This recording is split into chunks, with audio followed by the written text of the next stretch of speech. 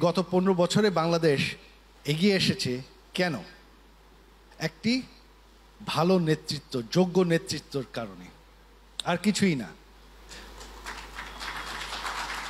এই যে আপনারা একটা আমাদের সুশীলদের কাছ থেকে শুনেন good governance good governance good governance না থাকলে কি বাংলাদেশ এত দ্রুত, এত এগিয়ে আসতে পারতো? না, এটা সম্ভব কীভাবে? তাই না? এটা তো হাস্যকর ব্যাপার। গুড গভর্নেন্স এবং এই যোগ্য নেতৃত্ব ধরে রাখতে হবে। আর সেটা ধরে রাখার কী উপায়? সেটা কিন্তু আপনাদের সামনেই আছে, সেটা হচ্ছে নির্বাচন। সমাধান অনেক সহজ, নৌকায় ভোট দেবেন।